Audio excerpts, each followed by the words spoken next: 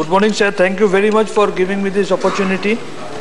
Sir, as we are seeing that Honorable Prime Minister has been sending cards regarding Ayushman Bharat, though there are significant budgetary contributions from the states as well. But there are so many fallacies in that particular proposed bill, and one of these are irrational package rate.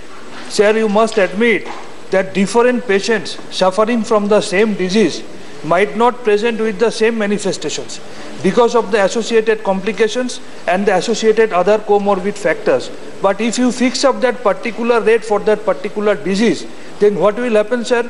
The same patient who is suffering from a particular disease with associated morbidities, when he or she will be going to the particular hospital, the doctor or that particular hospital will be refusing that patient because they will understand that they won't get the extra amount of money.